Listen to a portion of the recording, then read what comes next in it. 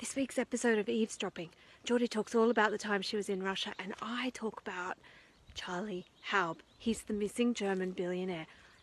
There's a house. Could he be in there? I don't know. Let's take a look.